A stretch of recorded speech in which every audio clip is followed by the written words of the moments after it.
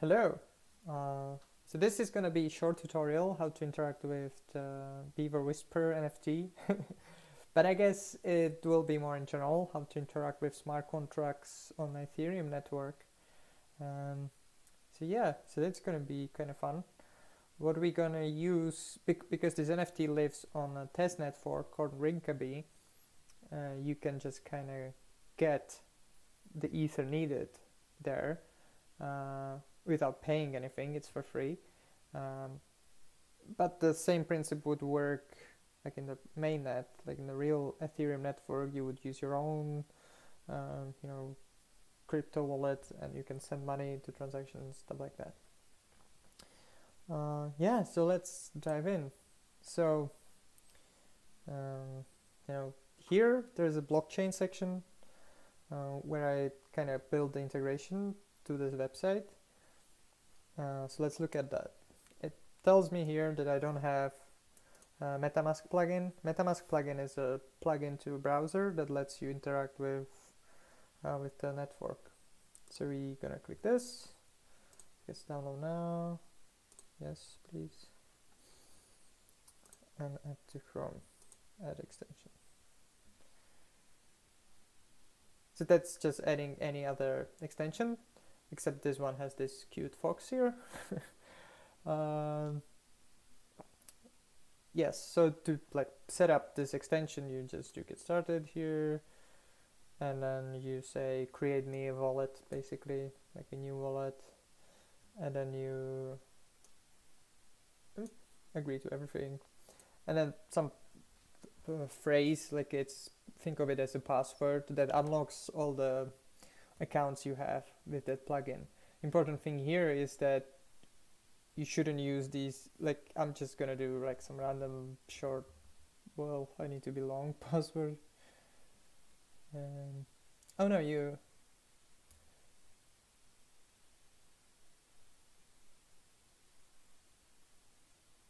oh okay sorry I did the wrong thing here I think um, sorry, I wasn't reading. so this asks you if you're new to MetaMask. If you are not, uh, you can import a wallet from somewhere else. But let's assume we don't have any wallets that you can go here and say create a wallet. And then I said I agree, and then you specify some password that unlocks that wallet. Uh, but these password, the, so it kind of creates accounts, uh, Ethereum accounts for you to use. Um, they don't need to be registered anywhere. It's just you, you get kind of private keys for them. Um, but you can use them on any network. So you want to be careful with these passwords if you intend to use those accounts in like mainnet later. But for the test network, it actually doesn't matter too much. Uh, so we're just gonna put some simple password here. And you can you know back up this thing so that you can move to different browser if you would like but uh, we don't need that for now. Yeah and that's it. Now this is we have this account there's a zero ether in it and it's all good. Uh, now here extensions I guess. We can pin this MetaMask plugin here so so we can see it up here in the corner. So that's that so now we can close this tab and this tab and go back to our website. And, now when we look here, uh, the website already recognizes that I have some, uh, like I have this plugin installed. So it doesn't say install the plugin, it now say, says please switch, please switch to Rinkeby network. So that's just like to make sure that we're using the test network and not the mainnet. So we're not using real Ethereum, but the test network. And to switch network, if you click this plugin, uh, if you click this plugin here on the top menu, you can choose the network. So Ethereum mainnet is just the real mainnet, like that's where the real Ethereum is being traded. Uh, but we using Rinkeby test network. If you've done this, uh, you can see that it switched here because it recognized that, uh, that that we are on the correct network now. Now we're gonna need some Ethereum to be able to interact with the page. So you need to get some. Uh, if I click the account here, uh, it will copy the address. Uh, yeah. And then also one thing we can do is there's a Rinkeby scan. So this is like browser of the blockchain of the Ethereum, but this is for the testnet Rinkeby. And you can paste the address here and you can see that there's a zero Ethereum, which is the same thing you see here, right? So we didn't need to do that really. Uh, but it's we can later see some transactions happening in this wallet later on. Uh, what we can do though is to get Ethereum and and that you do by saying faucet I think. Uh, Rinkeby let's do that.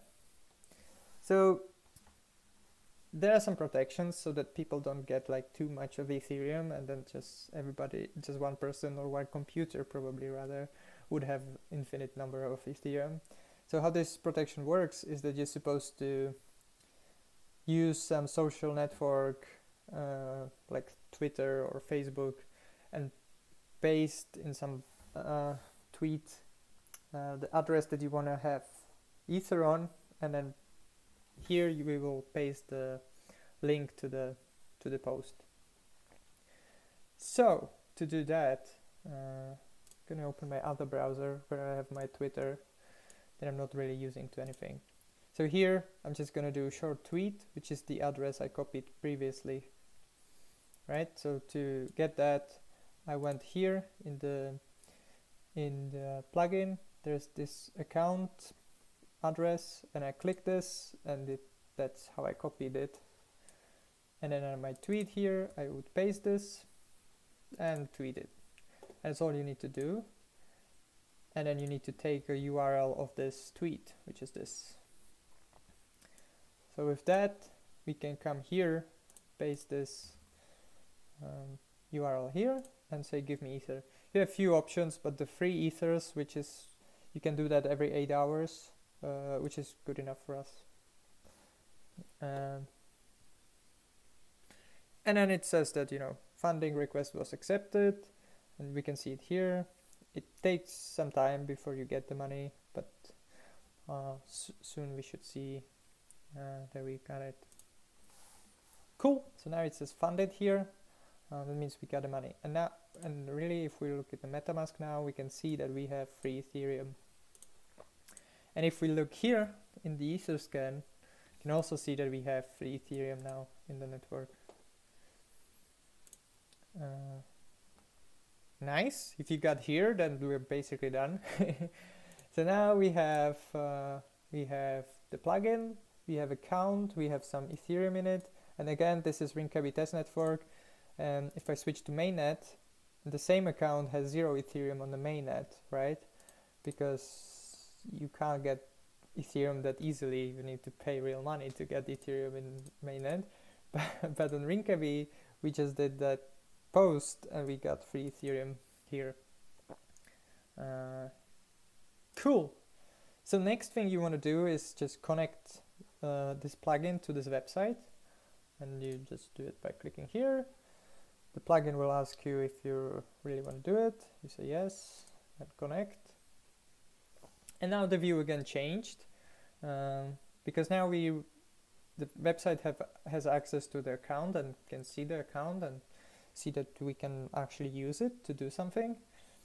Um, yeah, and now you're choosing amount to pay, but this is, so this is the actual value that you're paying, the 0.0001 Ethereum. Um, this is just the native wei, um, it's called wei, and it's the unit that you use for smart contracts, which is like the lowest amount that you can transfer is one wei. Uh, but it's like a lot of zeros and one of Ethereum. Uh, yeah, but basically, let's let's buy it for more. Like we can do this, and that's 0.001 Ethereum. There's a logic in that blockchain uh, smart co smart contract that says that each time you buy something, the next person needs to pay more. so that's why there's some number here. So it's defaults to the previous buy plus one. it's kind of stupid, but that works. And then you just click buy button and then a plugin takes over again. It says, uh, you know, you want to pay that much. Um, and gas fee is kind of interesting. So um, in the Ethereum networks, you need to pay for every transaction because you want somebody to do the transaction. So this is this is it. And then uh, you can confirm here. So you can see that the total is actually 0, 0.0 and then there is some fee in it as well which would be true for the main mainnet uh, operation as well. That's why it's maybe not feasible at this time to use that for like uh, coffee payments and similar payments because you always have some fee and sometimes the fee is like higher than what you're actually trying to pay. Um, okay, but we can confirm.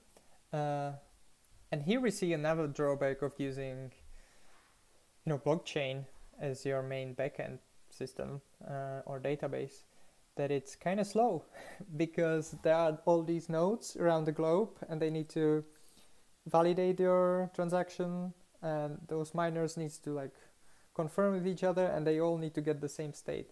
So it takes a little bit of time uh, for this process. As you can see the button is like grayed out because it's like working or, or like we're waiting for a confirmation.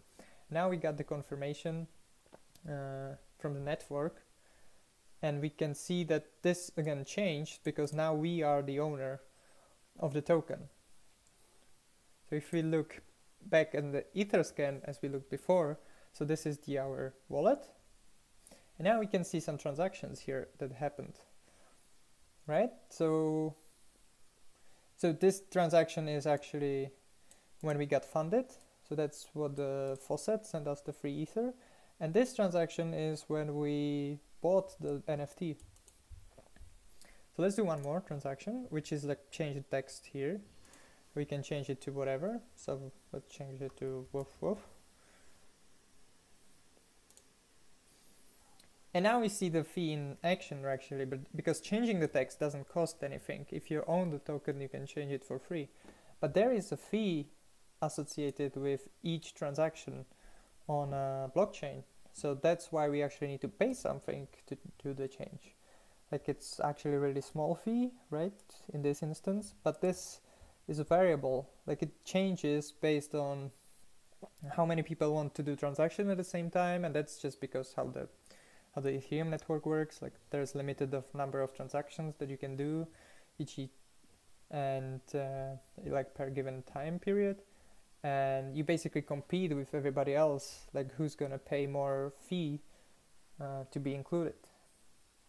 But let's say yeah let's continue. And again we're waiting for this to get a confirmation for this to finalize. So let's wait a little bit more. Mm-hmm.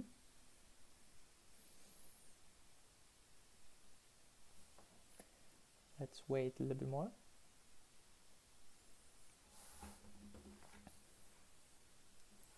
but that's uh, that's one of the cool things that this text is actually coming from the Ethereum network and not from like some database or like locally stored or anything. It just actually goes to the uh, Ethereum network. In Oops, um, my my recording software kind of had a technical difficulty there, um, but there's not no much more that I wanted to say or show really. So this is basically it. Um, as, as you see in the meantime, before I finished recording this part, somebody else bought the NFT, and you can see that it again looks for us uh, as we are not the owner because we are not no longer the owner. Somebody else bought it, uh, so you could change the text again. Um, yeah, that's it. Um, if you would have any questions, you can reach out to me. You, you know, there's a email here or like there's this thingy, you can write something, and that goes to my email as well. So yeah, uh, let me know how that works. Bye.